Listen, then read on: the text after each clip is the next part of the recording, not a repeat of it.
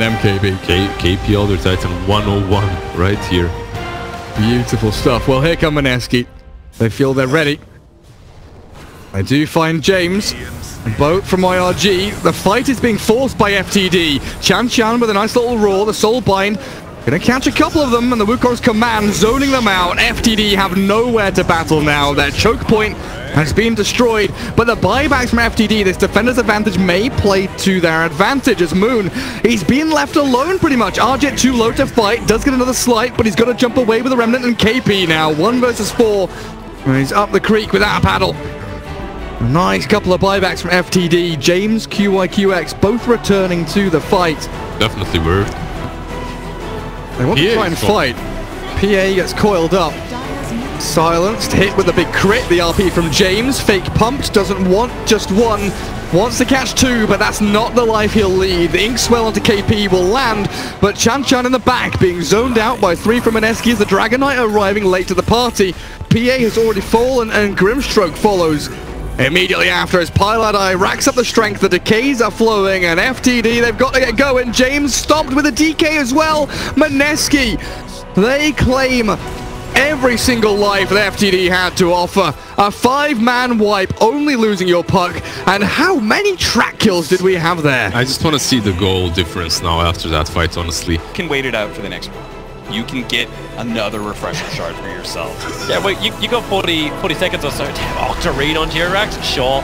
Uh, mid, a good initiation out. Will it be enough? The Fiend's Grip's there. Ember Spirit is already down. He's been very happy he didn't spend that money. But with the death of Bane, defense must come. But how fast? Fortification, buying a little bit more time, keeping the racks alive. YapzOr will try and do as much work, but Lifestealer, he wants to commit. He wants his Ember to force the buyback. It'll mean so much in the next team fight if Ember can't just respawn in. So they let the mid melee racks go.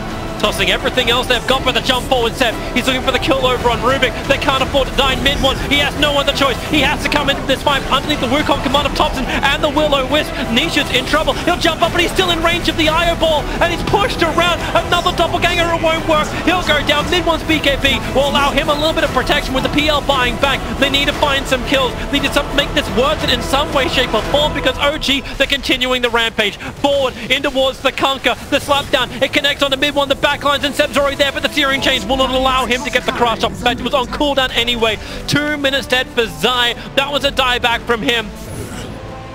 And the tier 3 towers will fall on top. OG, finally they found the opening that they were looking for against Team Secret to take that top lane of Rax. And in fact, Ceb just goes for more kills. MidOne jumps forward underneath the tier 4 towers. Team Secret, they have not enough players to feel comfortable enough here. Not even inside their own base. And not even with Nisha, who are level 25 PL, trying to get into the back lines of OG. But it won't work. They're losing too many players. They're all gone. It's GG. OG take game one of this two-game series to kick off ESL 1 Katowice. God, that was such a sick game to open up this tournament, man. Certainly going to get bursted down if they choose to, to be able to jump you real quickly. That's not like OG has that kind of initiation or burst anyway. Nice soccer buyback. The black hole is available if they want to try and use it. Have to go up the hill, but JerAx is copying so much damage. They're draining out the life of Nisha. Anti-Mage trying to protect himself with a spell block shield. Gets over towards YapzOr. Triggers the mana star breaking free with the mana void. The damage is a good spell damage, but the rock in the back line. JerAx was never part of this one. Same for potentially the Anti-Mage who was trying to be safe under the tier 3 tower. No way to jump away, but he's got a spell block available and also Enchantress.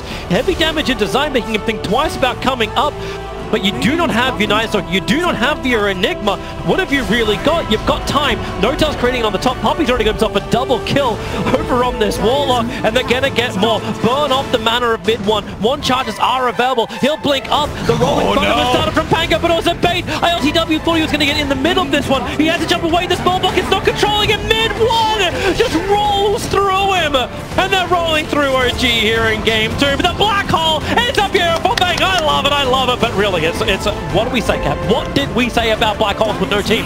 Team activity, Toby. You got to get every... Spectre Lane or That's, that's, something. that's, a, that's a lot of what ifs. Yeah, there's Special Hunt reveals all of them, and they're in a great position. The Fatal Bonds are rock three together. OG, not what they want to have happen It's, You can't it's get away. four, it's only going to be three. Ceb gets hit by the Rolling Thunder of MidOne. Look where N0tail actually hides. He knows this will be a dieback for him if he goes down. It's actually Anti-Mage. Okay, maybe I can kill off MidOne. Maybe I can have the money and all the solo experience that goes with it. Or maybe I can just die. Zai is going to be there to land the stun, turns on the Pulse Nova. This is the game. Everyone from OG is dead. GG is the call. OG, they started off ESL. Like, there's no resummon available for him, but they're pushing in the bottom lane. Beastmaster is trying to force a TP back. Lifesteal's coming down as well. They're going for a trade-off, letting the Bristleback be the frontline fighter, but Apo is so much stronger. You say goodbye to your Bristleback. The bottom tier 3 tower, it loses a third of its life, but the top tower, hilariously enough, is still alive, but their own Crimson Guard being popped up. That's the one from the Visage. Ravage sp- sprays out, Cat's out in three heroes. The bigger one is the Life Stealer. They get another core kill, and even the Spike Carapace stun onto the Jakiro, meaning it can go from one to the other. The split soul assumption damage, it does heavy work, but Jakiro can tank through it, and maybe they can control the next assassin FTD, the defense. But no, you have Cheese. He got the life straight back up again. Now Avro's just going to rip apart the backline of FTD. Nowhere to stand. This will be a dieback from the Bristle. He does nowhere near enough damage, and now they can just take the top lane of Rax in relative peace, or they can take more kills. Either or. Jakiro is gone. His buyback's expanded. Baden, if he goes down too, that's both of your large cores, Nice. both of your networks have nothing available as the rage wears off. The impale is perfect, and that may actually just be half of the game right there. In fact, it is the full game according to FTD. They lose the fight very convincingly, and uh, they show the Rubik. TP's coming in. Blink, Doom. He did get the rage off, which will give him a little extra movement to get away, and maybe nope. Ice path level four stolen. Hold. How long is that ice path last, actually? I forgot. I haven't seen a Rubik versus Jakiro in so long. Keep in mind, 2.5 second no, duration. plus the passive. oh yeah. Yeah. 36% debuff amplification at the moment, so that's 36 times 2 point... Never mind. That's- It's longer. that's- The ice path lasts longer, Toby. That's math. Uh, Troll Trap is out once again. Tuskar can't move away. And in fact, look at the Tombbringer. They knew they already had the kill. So jumping forward with the OD hammer, Beastmaster is deleted. And they're going once again for even more. Chasing the last remaining player alive for FTD. Goodbye, Troll. And I don't want to say goodbye game 20 minutes in, but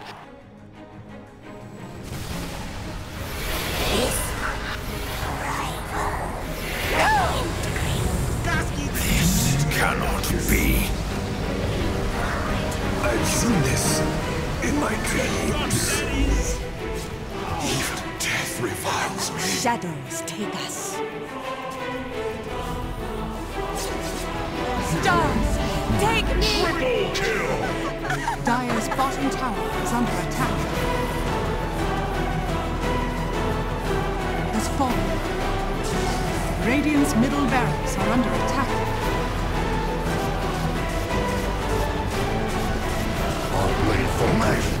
Is Radiant's bottom barracks are under attack. It should have been you. this battle isn't over.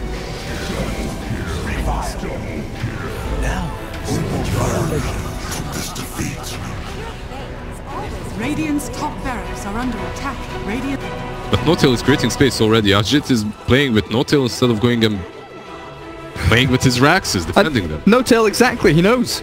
He knows what he's doing. He's toying with this young man's heart, and Ahjit. He's got to get himself in here. Bat Rider, changed up, no lasso, but yes, there's a big crit. A three-man RP. It's a good connection. The trouble is the damage is lacking. Now we move in with a Febby kill, and Ahjit's got the sprint away. The crit from LTW says goodbye. And Mineski, they tap out here in game one. OG still continuing this hot streak. That was a great RP, but for what? Like, he RPs 3, He's not holding Aegis or anything, just a Manta style as a black hole. Hello, KP. Will catch a hold of the Ember, but again, just a remnant away. They lack the damage and the follow through. Topson's just going to find a kill on Pylai Die, quickly bring Ahjit to his knees, very close to dropping, but Topson stays inside his circle. And they'll focus down the tier 3. BKB, KP, has Blink Black Hole. His refresher orb has been used, but he doesn't jump in. I mean, now he has no BKB either, so hmm. they're just gonna go in, I believe. Yeah, in we go with RTW. Omni Slash, nice mischief, gets away. Topson save, but JerAx has the black hole. Easy as you like on the Juggernaut, who's likely just going to have to buy back here to have any chance in this game whatsoever. They have to. They have to fight this somehow. You still have the BKB on Tiny, but honestly, Win. not not great. Limmp cursed up. That's quite a bit of damage coming through from the Monkey King onto Limmp, and they will try and blow him up as HFN arrives, rages forward and clears through Miracle. Monkey down and 343 about to follow. His Macropyre was good, but it doesn't zone out Chaos. In they move. We Weehas found another two. Z-Freak and Death both dropping. What on earth has happened? This game, make sure he's nice and safe, surrounded by his buddies. But it is the first lane of barracks, nearly down, so they go in with a song. Kunka buys back, they're setting up. This is it. Big wombo combo. Four-man ice path with the BKB from HFN allows them to turn until Stormhammer from Z-Freak with the vacuum. Amazing. Down they go. Easy peasy for complexity. Another one added to the tally as Tarvo drops. And a triple kill for Miracle. Wait, huh? Oh dear, huh? What have you done? You've been caught up in all sorts of nonsense, netted and snared. The sleight of fist buys a couple of seconds, but there is no escape from that prison. Let's just call him dear, huh? I mean, that was.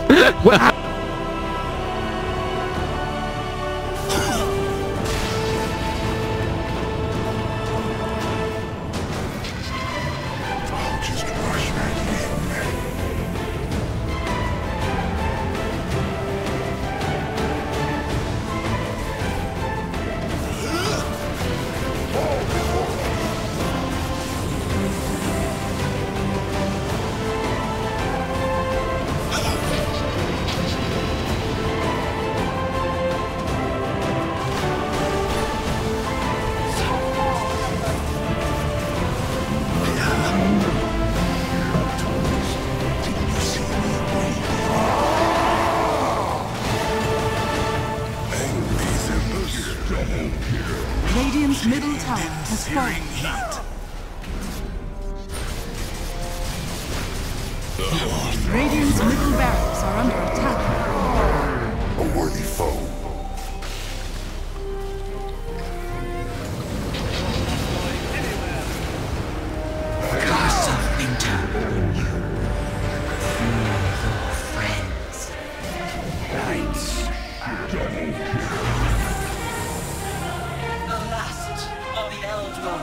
Fnatic victory! being controlled up by 33. They managed to get the Oracle save. Soxa in the back line. They're still trying to go for him. Koifa is going to try and run down Soxa. He runs to help the rest of his team. And took the heal off from the Chen, but Boxi eventually gets blown up. Even Soxa's with asking the for the Oracle save. Soxa, he's like, please, somebody, kill the wolves, kill the Astro him. Necroblast, imprison me, anything, but it's not quite there. Koifa, no longer in the wolf form, is going to be run down pretty quickly by Ninja Pajamas, and it just looks like they have buybacks, yes, but they still don't have their Luna for 13 seconds, and that is 13 too many seconds, it looks like, as Nip might just be able to take a second lane of Rax. Actually, nice stomp in from 33, gets the back line, blows up the Oracle, and Taiga, he's low too. This could be some diebacks coming in, as 33 is going to be able to cleave him down, but now here comes Mickey out with the big ultimate, doesn't actually hit 33 once. 33 is going to be able to stay alive here, and Ace, Ace down to about half health, but still super tanky. Will be able to get back Ninjas the Pajamas, even thinking about still going for these Raxes, because after all, they're only faced up against two cores.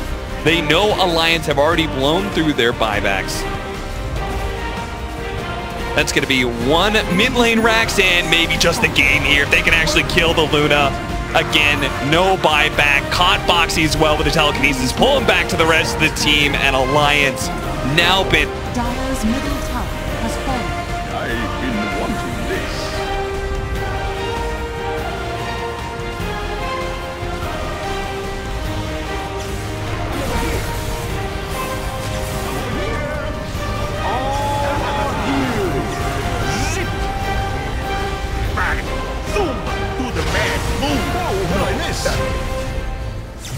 Your blood. It sinks deep down. Break you.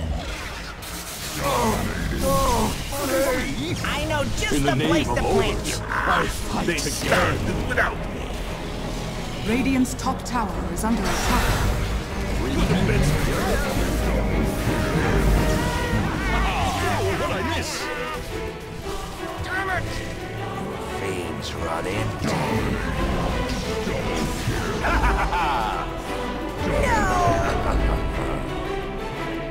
Dire's bottom tower is under attack. Behold! At my thanks. Radiant's bottom tower is under attack.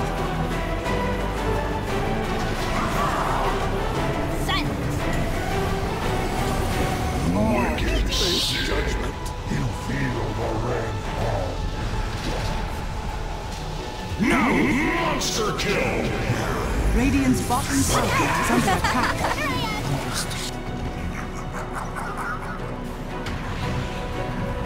Never more to see my sky Skyrack home? That would be worse than any.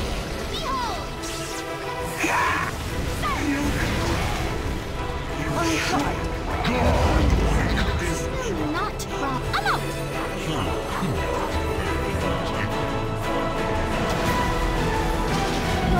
Your actions are without merit.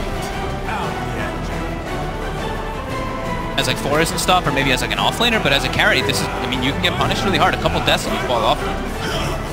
to set up in the mid lane. They look towards HFN, they have got the Hex out, they are going to drag him back in, but straight away, in response, the Rock comes out, the E-Blade as well onto HFN for now, keeping him safe there, allowing him to pop his BKB after the stun wears off. They do lose King RD on the last Leshrac. See them diving deeper. Tavo's trying to finish off Femra on the Disruptor. Again, those Psylocke getting caught out by these Earthbinds. That's a dead Weaver once again. Tavo's still alive, even though they dropped the Static Storm down upon him with a Pipe of Insight. He has so much magic resistance, he can just simply walk out. XXS has got a Meepo problem on the, The side of side. things as Weehard chases down the Chaos Knight, finishes him off, but Boka cannot hold them back as Mushi's trying to TP back to base. He'll make it, but everybody else on Aster is dead. I mean, we had just